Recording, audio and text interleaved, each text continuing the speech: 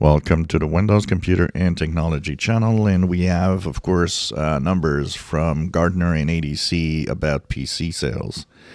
PC sales have been in decline for quite a while now.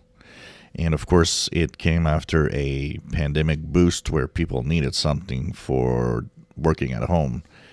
And you know, that PC that was purchased back then isn't that old for most people. And not counting that, if you have Windows 10, uh, works fine. Windows 10 still enjoys two years of support. If you look at people like me that run Windows 11 unsupported, and you pretty much everybody's going to tell you Windows 11 on old unsupported hardware works great. So it gets to a point where you're wondering, huh, what is exactly going to happen to the PC market. IDC and Gartner both said, and both were mentioning for at least a year, oh, we're seeing a level off. We're seeing that the decline is going to stop.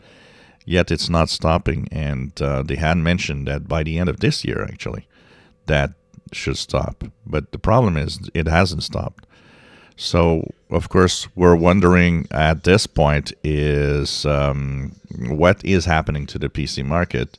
But what also is interesting is to look at what will AI future do. Will Windows 12, Windows, um, you know, with AI, will Windows 11 with more AI-driven stuff in it, could that reverse the trend of PC sales? That's a good question. I mean, we often say it, and I see it here in the comments. You got a perfectly good running PC. Why do I need to change it? And that's a question that's always been there. Um, you know, I remember as a tech guy, and even before that, having computers and having to change it because technology was advancing, but yet those machines still worked. It's just that, you know, uh, but now we're in a different kind of future where an really old machine can still work. Um, you know, back in the 90s, a two year old PC was changed because it just didn't do anything anymore that you wanted.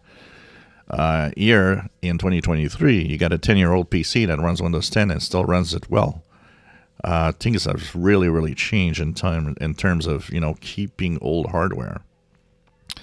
So we're going to see, but uh, will Windows 12, will AI-driven PCs and computing change this trend?